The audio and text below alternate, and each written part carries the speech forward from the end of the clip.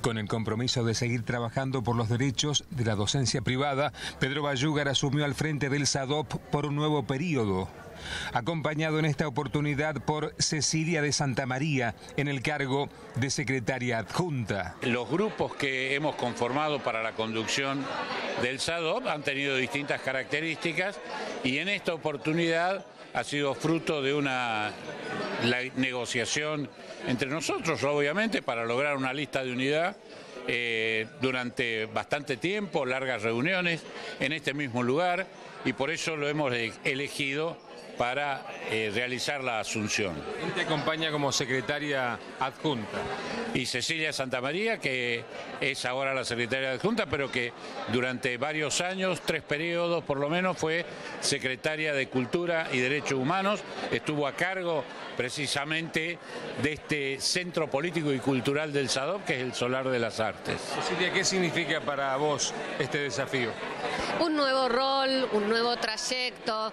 Eh, con el desafío que es colectivo de sumar a esta idea de poder ampliar y profundizar el proyecto sindical que, como decía Pedro, venimos ya realizando, construyendo desde hace varios años. Una etapa en donde incorporamos a muchos compañeros y compañeras eh, nuevos, nuevas que se suman al proyecto.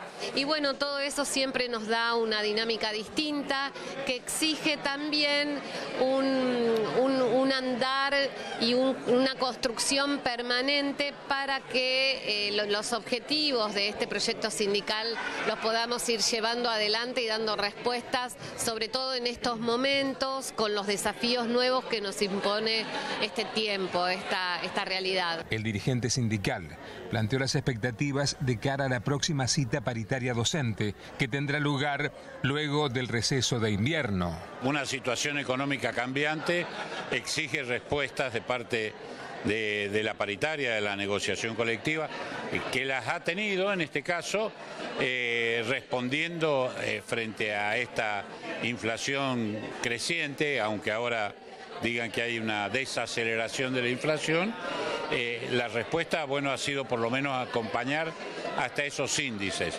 Nosotros creemos que el salario le debe ganar a la inflación, los trabajadores tienen que tener un salario por encima de la inflación.